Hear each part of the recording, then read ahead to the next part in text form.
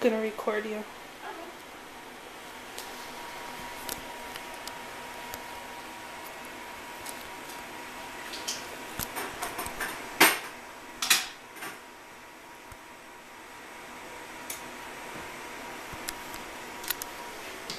You can see the different layers in here. And then we just take the serum off the top. So that's all you guys use? It depends on the test that needs to be done, and the ones that are running just require this. Uh-huh. So either going to be serum or it's going to be plasma.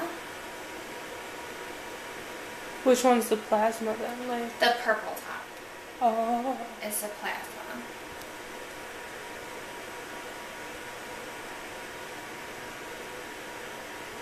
You want to make sure you only get the yellow stuff.